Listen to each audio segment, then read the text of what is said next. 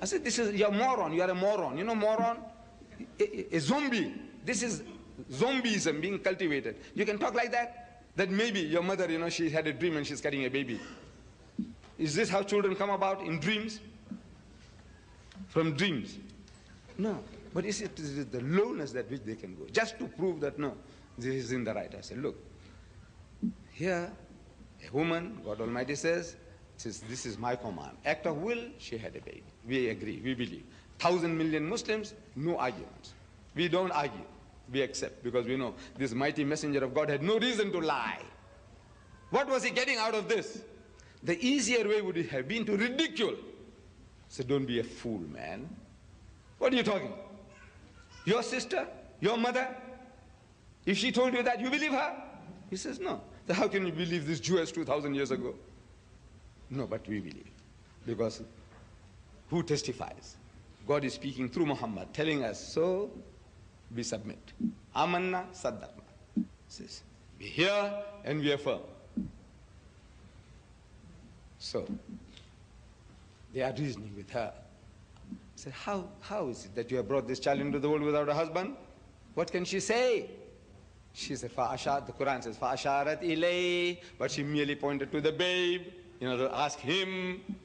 So they say, قَالُوا كَيْفَ نُكَلِّمُ مَنْ كَانَ فِي الْمَحْدِ سَبِيًّا Said, how can we talk to one who's the child in the cradle? How can we talk to him, this little thing? What can he tell us? And by a miracle, Jesus spoke. From his mother's arms, defended his mother against an unbelieving audience. So, قَالَ إِنِّي عَبْدُ اللَّهِ So, most certainly, I am the servant of Allah. He has given me revelation, Waja'alani Nabiya, and He has made me a prophet. He spoke and defended his mother. The first miracle attributed to Jesus in the Holy Quran is that he spoke as an infant from his mother's arms. The first miracle of Jesus Christ, the other picture, the first miracle you read in the Gospel of St. John, I think it's chapter 3 at the beginning, Jesus and his disciples go to the marriage feast at Cana. Cana. And they run short of wine, W-I-N-E, wine. So his mother comes to him and says, son, look, these people are in a problem. They have run short of wine. Help them out. Believing that he's got mysterious powers to help these people solve the problem. So Jesus blurts out, according to the Bible, he says, Woman, woman, what have I to do with thee? My time is not yet. Woman. In the whole of the 27 books of the New Testament, not once does he call his mother mother. Woman, woman. I'm asking in the Hebrew language, is there no word for mother? This word woman he uses for the prostitute. Same word. You see, the woman who was caught, caught in the act, they bring her to Jesus. They say, look, this woman, we caught her in the act.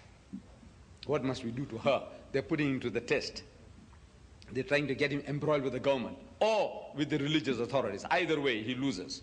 If he says, stone her, that was the law, book of Leviticus, that the adulterer and the adulteress must be stoned to death. If he says stone her as a man of God, he must abide by the law.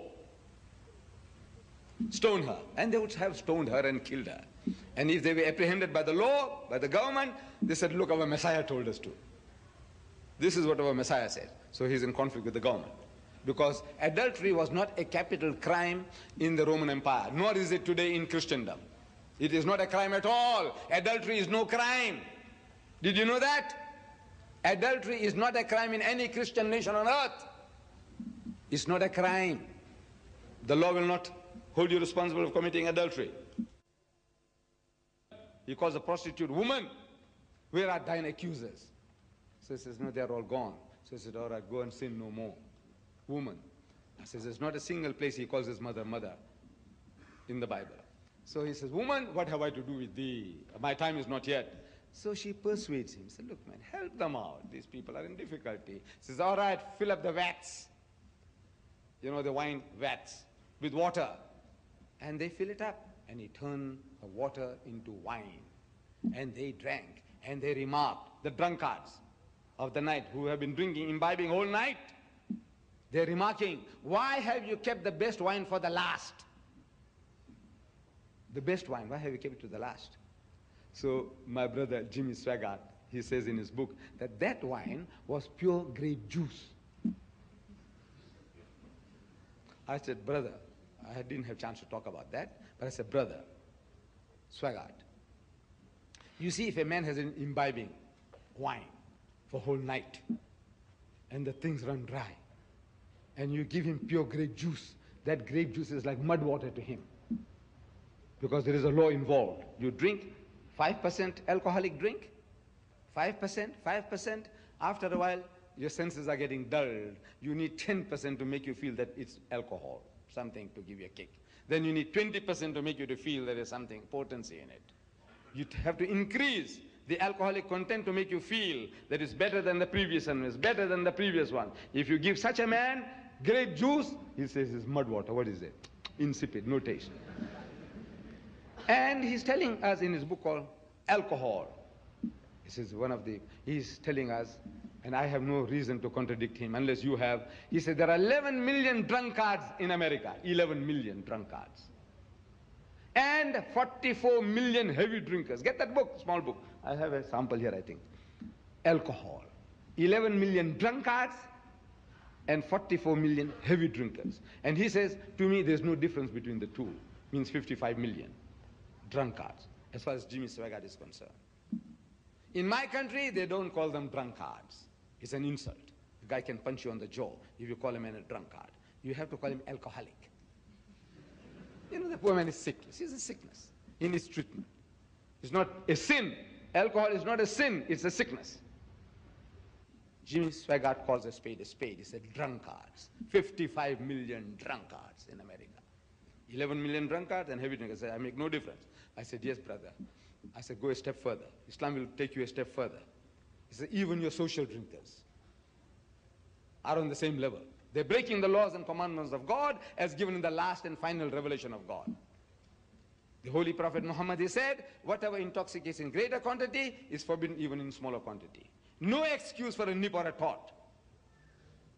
Holy Quran says, Ya ayyuhallazina amanu. O you who believe, innamal khamru, most certainly intoxicants, wal maisiru, and gambling, wal ansabu, and fortune telling, wal azlamu, and idol worship, rijzum min shaitan, are an abomination of Satan's handiwork, fajtanibuhu la'allakum tuflihun. It's a shun such abomination that you may prosper.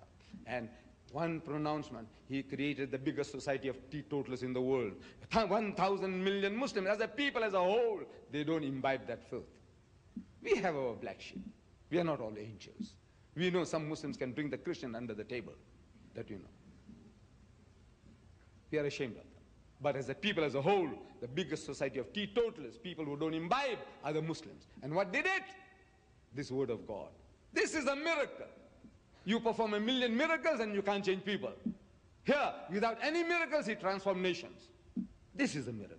What miracle are you talking about? So, Quranic first miracle of Jesus, he spoke and defended his mother against an unbelieving audience. The first miracle of Jesus, he turned water into wine. Since then, wine has flowed like water in Christendom. And there's no way out. The preachers. Jimmy Swaggart is telling us. There's a book called Preachers. And he's telling us in that book, he said at a church conference, all these preachers, the evangelists, the hot gospelers, the Bible thumpers, you know they call them evangelists. Born again Christians? Yes. At a conference, where asked, somebody suggested this, look, those people who are against the, the, the against alcohol, please stand up, that you can go out when you return, preach in your churches against the evil of alcohol. Please stand up. And Jimmy Swaggart says, nobody stood up. That means they all opted for alcohol. Why? And the reason, Jimmy Swaggart said, the reasoning is, he said, look, our Lord Jesus turned water into wine.